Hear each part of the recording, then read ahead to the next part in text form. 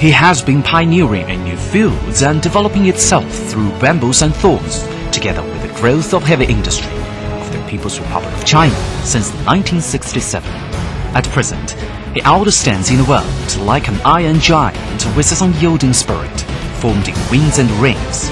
That is Chongqing Changzheng Heavy Industry Corporation Limited, or CCHIC, a subsidiary company of China Shipbuilding Industry Corporation, or CSIC.